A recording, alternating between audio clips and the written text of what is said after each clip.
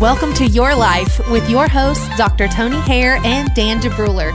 Together, we're exploring the questions everyone has about life, love, parenting, and relationships. Tony Haire is an independent certified coach, teacher, and speaker with the John Maxwell team, author and inspirational speaker who lives in Fayetteville, North Carolina. He has a bachelor's degree in criminal justice, a master's degree in pastoral counseling, and a doctorate of philosophy in Christian counseling. Dan DeBruler is a retired U.S. Army communications specialist and has spent more than 20 years encouraging listeners through Christian radio.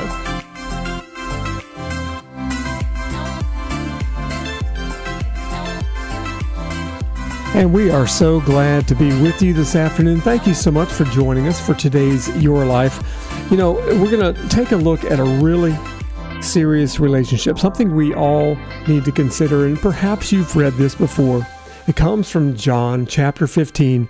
And it's interesting, uh, just about the whole chapter here is written in red letters. Of course, red letters indicating that these are things that Jesus said, these are words that Jesus spoke. I'm going to read to you from that from the vine and the branches, beginning at John 15, verse 1. I am the true, van, true vine, and my Father is the gardener. Every branch in me that does not produce fruit, he removes, and he prunes every branch that produces fruit so that it will produce more fruit.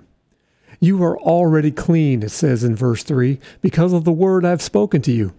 Remain in me, and I in you, just as a branch is unable to produce fruit by itself unless it remains on the vine, neither can you unless you remain in me. Continuing in verse 5, it says, I am the vine, and you are the branches. The one who remains in me and I in him produces much fruit, because you can do nothing without me. If anyone does not remain in me, he is thrown aside like a branch, and he withers. They gather them, they throw them into the fire, and they are burned. If you remain in me and my words remain in you, it says in verse 7 ask whatever you want, and it will be done for you.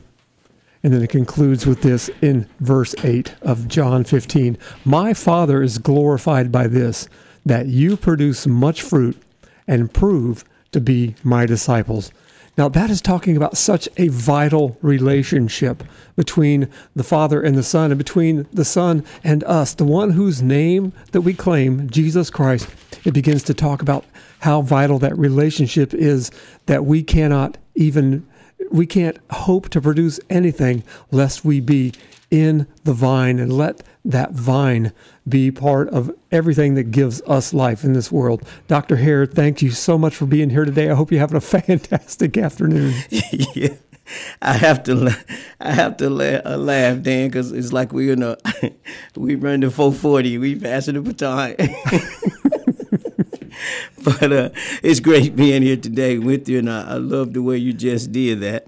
Um, and yes, in our discussion today, and looking at John chapter 15, and something you was bringing out that relationship uh, portion, because it, it is important for us to realize, Dan, and more so as I have gone through Monday and just today, and, and going looking at Sunday, uh, Easter Sunday, and we begin to think more about.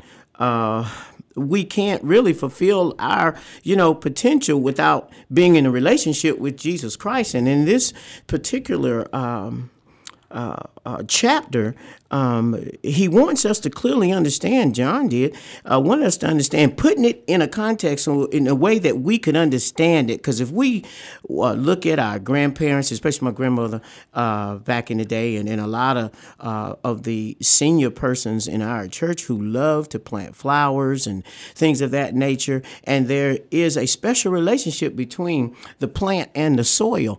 And that plant can't reach its full potential uh, without a relationship to the soil. And the same thing holds true for, for, for us. Without a relationship with the vine, it is most difficult for us to achieve anything in life, to bear fruit, which is most important. And a lot of times, many of us today, if we look from January to where we are in April, you know, the fourth month of 2023.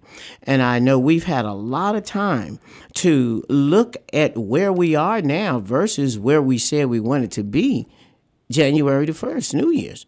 And we have to, as we assess uh, that time that has passed, we have to ask ourselves if we are where we said we wanted to be after the first quarter. We have to ask ourselves, are we or have we achieved the things that we said we wanted to achieve? Now, remember, we made these statements, and usually at the beginning of the year, we always say the Lord's will, and we're so excited about what God's going to do in the beginning. And we have to realize that God has already done everything He is going to do. It is based on what he has done, what will be revealed to us based on what we continue to do as a result of being in a relationship with him. Because you know, the first of every year, we're always, I mean, we we we're gun ho. And as time goes on, things uh, happen in life uh, just as if you were pulling a plant up from the soil. And that plant, the very moment you begin to pull it up out of the soil, or the wind begins to blow it so hard that it begins to uh, become disconnected from the soil, death is immediate to whatever was going to be. Death is immediate to that potential. So when we really, really, really think about where we are right now, are we really in an intimate, true relationship with the vine? Because the vine is, the gardener's taking care of the vine. It is the branches that bear the fruit See, uh, that is so important. And uh, are we truly connected to the vine? You know, Dan, are we truly connected to the vine when we look at the results of whatever it is that we're trying to achieve? Are we trying to do it on our own? Yeah, you know, when I when I read this passage, mm-hmm. Eh, you know, I I can't help but think about this apple tree mm-hmm. that's just outside my door. Mm-hmm. Now, uh, you know, every year the blossoms come and and as, as the blossoms begin to to fade away, yes, well, sir. the fruit comes behind that. And, uh-huh. and I know, but when I when I go on and I read about the Father pruning the branches, yes. I completely understand. Uh-huh. You know, because because that tree will grow all sorts of wonky ways. you know, it'll, it'll have a branch going eight feet over that way, yes. a little old thing that can, can't even hold fruit, and if, if mm-hmm. it does, the, the fruit will be puny because it's so it's so far away. But as I read this and I read about the discipline that that this is this is talking about mm-hmm. about us staying close to the store, source, mm-hmm. yes. remaining close to that which gives us life. Yes, I think about how we, you know, as as humans, we go to that apple tree, mm-hmm. and and before those blossoms come out, hopefully, we we go out there and we begin to trim those branches to to give it shape because we know that when we trim off those things that are unnecessary. When we trim off those wonky branches, it, it causes the, the, the fruit to produce uh, more fully on the branches that remain. And this is part of what um, Jesus is talking about mm-hmm. here. He's talking about allowing the Father to tend the garden of our life, to tend that tree in our life, to prune back the things that, that don't produce, to, to get rid of the things like we do with, mm-hmm. with our um, New Year's resolution where we say, well, I'm going to get rid of this. That's got to go. I'm never doing this one again. And, and realizing what really does matter and allowing the fruit the room that it needs to grow as mm-hmm. we connect it more fully to the source. And, and Dan, you know, when he says, I am the true vine, well, that really means that there are some vines that aren't true. There are some things that are false that we get connected to. And so just think about education. We think about sports. Uh, we think about those other things that we get so connected to that does not help us fulfill our true potential. We fulfill a potential, but it's Tony's. It's what Tony wants to do. You know, and so if I'm not connected to the true vine, then what vine are you connected to? Because those vines uh, that are not the source of life, but they are the source to a way of life in life, in the Zoe, in the ZOE, in the true life. There, there is uh, a life to be lived in the true life. And if we don't stay connected to the true vine, then we will find ourselves living based on my education, based on what I may drive, based on whatever I decide to tie myself to. A material thing, I may tie myself to. A relationship with a person who has clout, I may tie myself too. But the thing is, I am the true vine, and my father is the gardener. He's the one who cares for me, and he's the one who cares for you because you're connected to me. Now, whatever he has said that I should do, you will also become a recipient of that if you are in a relationship with me. That's why I need you to stay close to me. That's what because if the Father taking care of me, you're automatically going to be taken care of because we family. You know, we have been on the air. This is this is the 111th episode Wow. of, of, of your life. That is wow. And I think out of those 111, roughly 111 of them came back down to identity. They came back down to who we are, who God is, and who we are in Christ. yes, It all yes. comes down to that one thing: recognizing who is who and what is what. Mm-hmm. This is important. And and when you look at the Bible and you begin to really break it down, the Bible's about identity as well. Yes. It's about who God is, who we are, and who we are in Christ. Yeah, absolutely. You know, then, you know, um, and those statements that he identifies the Father, he identifies himself, and he identifies who we are. And it's amazing that I look over my entire life and seeing who Jesus says that I am. I'm the branch connected to the vine, but that branch can bear fruit.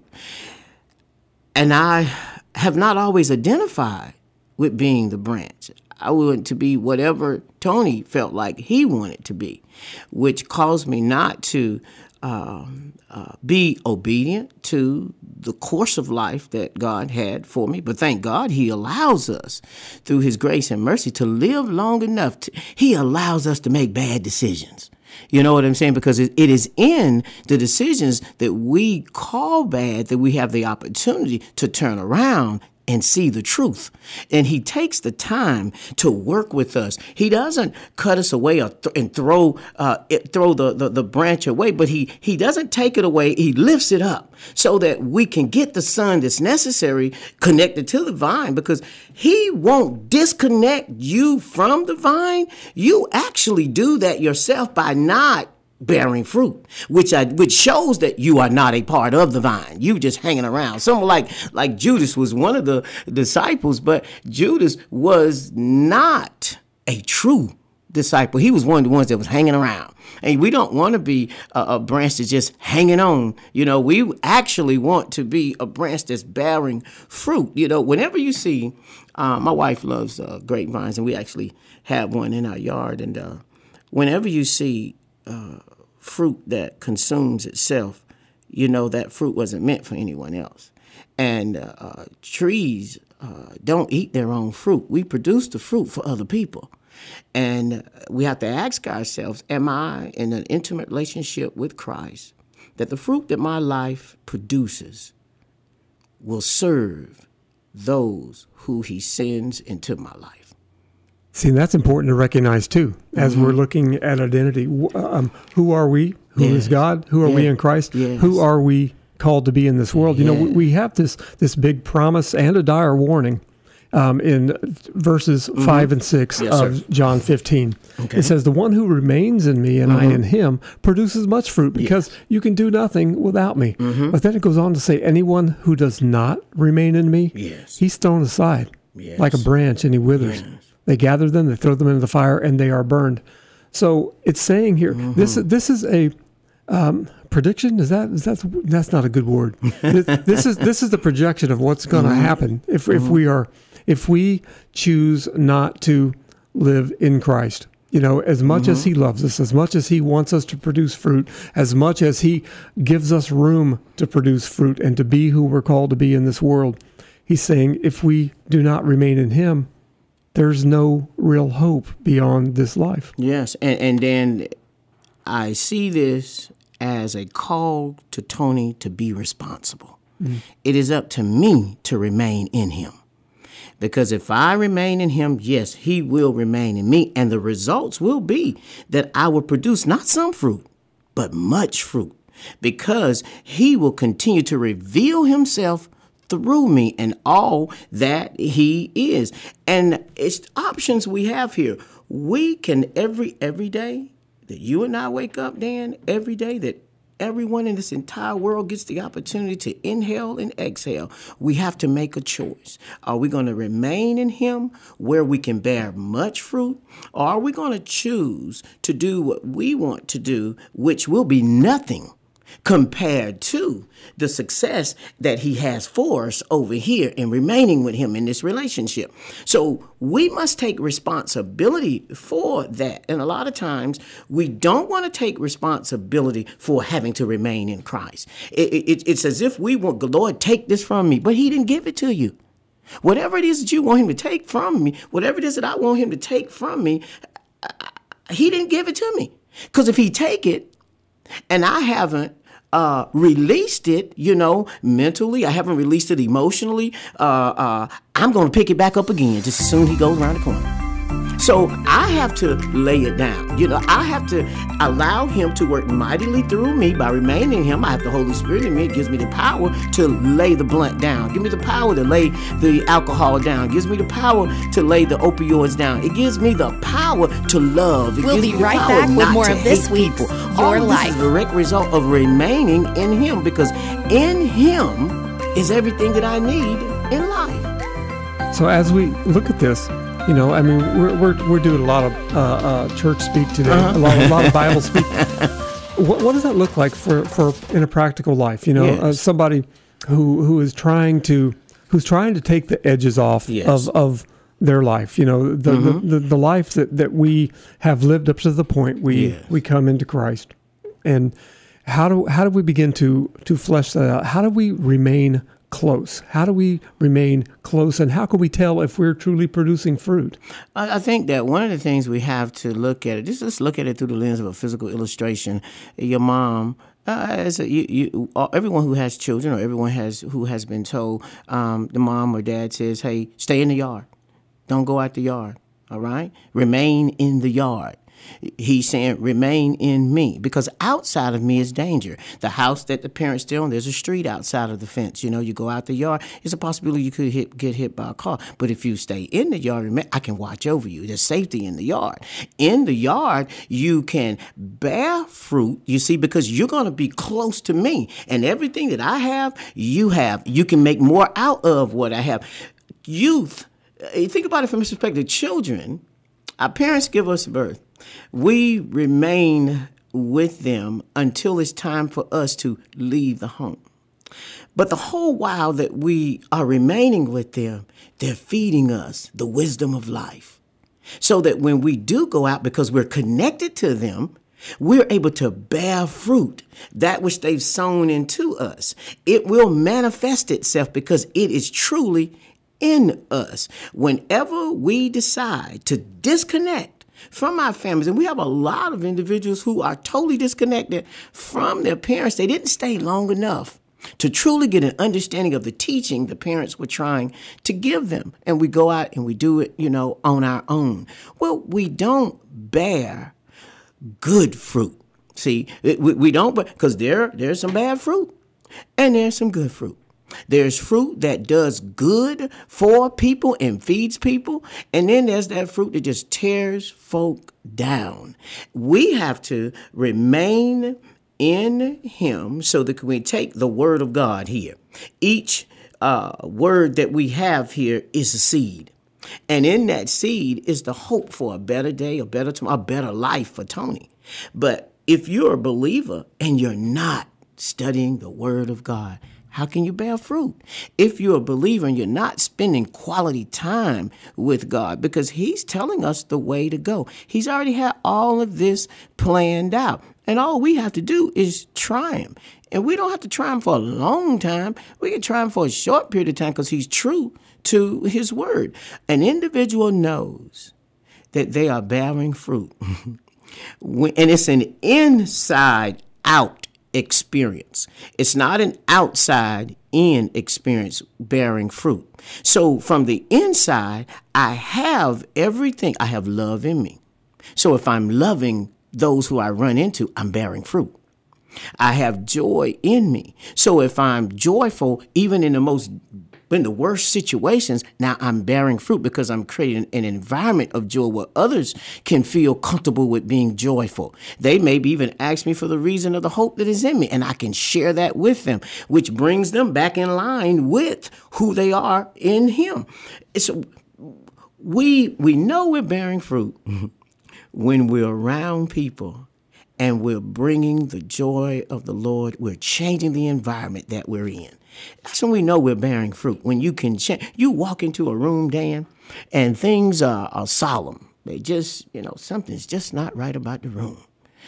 But Dan walks in the room, and your smile, see how you function and move in that room. Everybody sees something different. As fruit just walked in the room. Fruit just changed the atmosphere in the room. Now, if you walk into a room and you bring in gloom, more gloom in the room, now, no, you're not bearing any fruit. You know what I'm saying? You coming mm-hmm. in to take, you know, from uh, what's there, or to add more of your gloom and sorrow to the room. It's it's it's it's, it's not difficult um, uh, to understand whether or not you're bearing fruit, because there are those, Dan, and you may have run across some of them and I ask you this have you ever run across people who always going through something? They ain't never happy, but they're Christians. They but they aren't ever having a great day. Have you ever run across those people?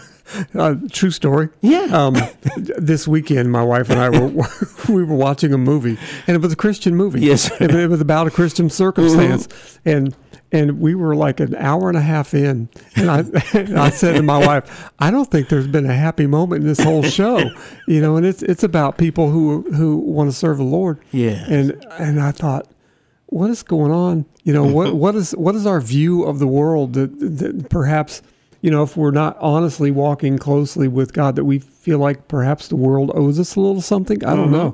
Mm-hmm. But as I watched this movie you know, and I said that to my wife. I don't think there's been a happy moment in this whole yeah. thing. Well, then something good happened. Okay, right, right then, and I looked up. I looked at the time, and I thought, okay, they got like 15 minutes left to to resolve this.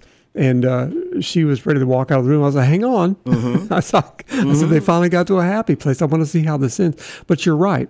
You know, if we if we are carrying that gloom, if we're carrying the dark, if we're carrying our hurts around with us, you know, and, and that's what we're wearing yes. on our forearms mm-hmm. rather than the joy that we've been given, yes. rather than the peace that we have been told to spread, rather than the hope that we hold to mm-hmm. in this faith in Christ. Absolutely. You know, it, it, it, yeah, it's fruit, mm-hmm. but it, but it's a it's a fruit that no one wants to take of. It's not mm-hmm. what we're talking about. You know, uh, Jesus wraps up this particular passage of scripture saying, My Father is glorified by this, yes. that you produce much fruit yeah. and prove to be my disciples. That's right. You know, and, and what did he teach his disciples to do? They taught him, they, he taught them how to relate to God, how yes. to relate to people, how to love God, how to love people. Yeah. You know, he taught the, yes. the, the, the greatest commandment and the second one that's like it, loving God, mm-hmm. loving people. Yes. So if we're not bearing that fruit, we don't look much like the disciples that he was talking about. Absolutely, absolutely. I think, and, it, and to to just really answer your question, to uh, we know we're being fruitful when we are being useful and productive. That's what brings glory to God. When we're being useful and productive, everyone has a gift that God has blessed them with sown into them. To be fruitful is to exercise that gift, to allow that gift to be useful for the kingdom of God, for the good of others, and for the glory of God. A lot of us do not use that which God has given to us. There are there there are men and women who can sow. There are men and women who can play every play an instrument. Oh, there are men and women who can sing like none other, and no, but no one's heard their song. There are men and women who can write great music, but they've never written. Who there are men and women who have great stories in them, great testimonies that could become books or devotionals every morning, things to inspire and encourage people, but they don't use them. So they aren't bearing fruit. The fruit's there. So now what happens? God allows trials to come into our lives because it is the trials and circumstances of life that push us to the point to be productive because we realize we have to do something. And sometimes it is the, the, the mind or the brain is at its best work during a crisis because you begin to search every corner of your mind. You begin to search out every uh, solution possible that to, to resolve whatever it is that you may be going through. And uh, if if if we, as believers, would um, understand that in order to bear fruit, then fruit must be present before it's seen because I'm bearing it. I have to bear, it has to produce itself. It comes from within me. So it's in me, it's there, but are we aware that it's there? We've been indoctrinated in the world to go outside looking for what we can produce.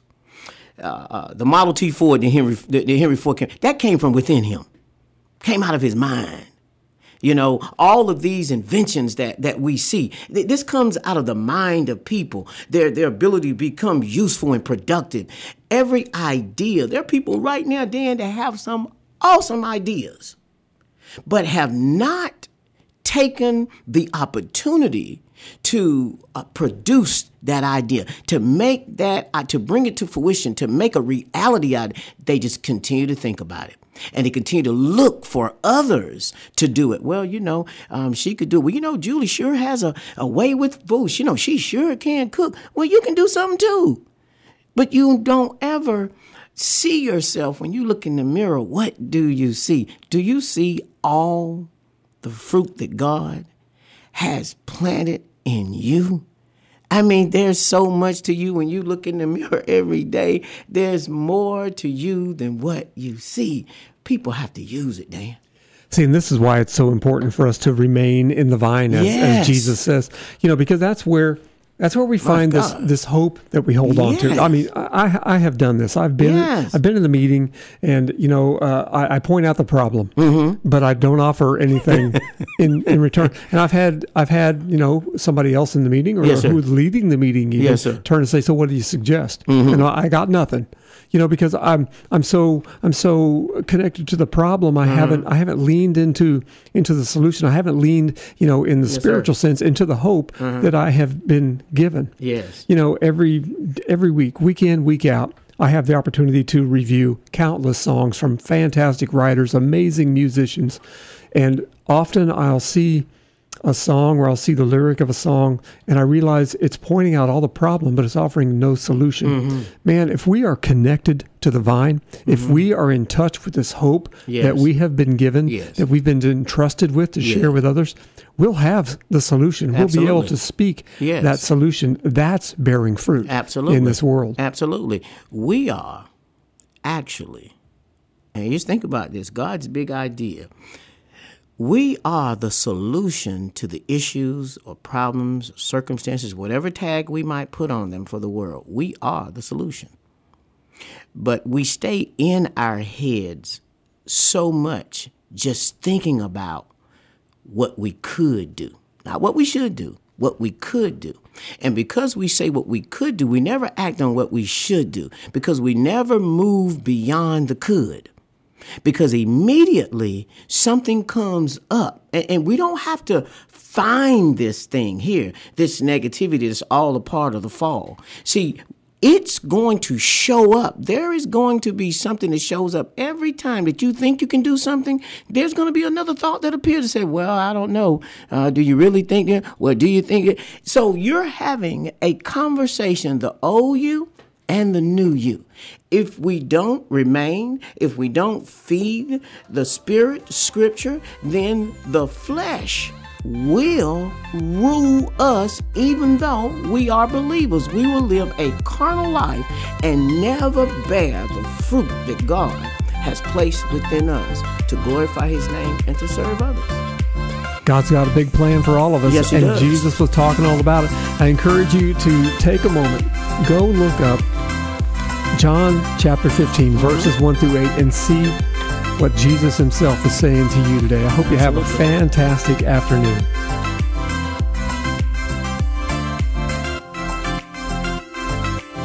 You've been listening to Your Life with your hosts, Dr. Tony Haire and Dan DeBruler. Join us again next time as we explore the questions everyone has about life, love, parenting, and relationships. Your Life airs Tuesdays at 2 p.m. on Christian 105.7, and you can always download, listen, and share online. Just look for Your Life wherever you listen to podcasts.